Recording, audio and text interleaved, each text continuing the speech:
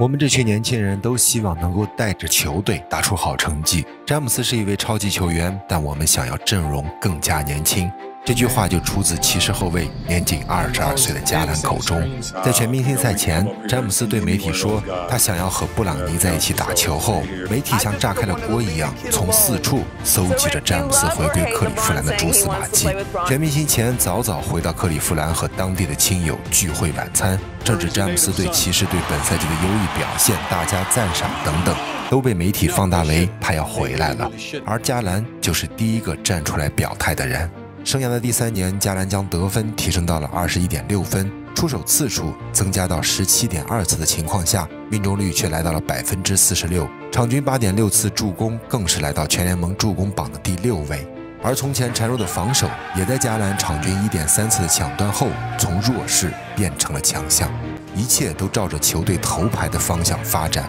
在克利夫兰全明星赛的替补阵容公布之后，加兰成功入选东部全明星。这个二十二岁的小伙子成为了继詹姆斯出走后首位入选全明星正赛的骑士球员，而他也仅仅二十二岁。个人数据提升的同时，球队战绩也让这个小伙子带到了最高东部第三的位置。而在带队打出漂亮成绩后，曾经怨声载道的球队大佬勒夫也忍不住对加兰的表现称赞有加。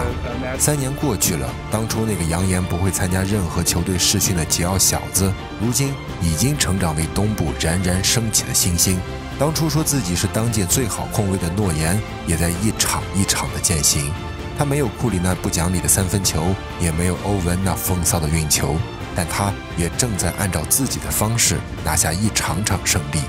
古典派打法下，依稀能看到团队至上的控卫风范。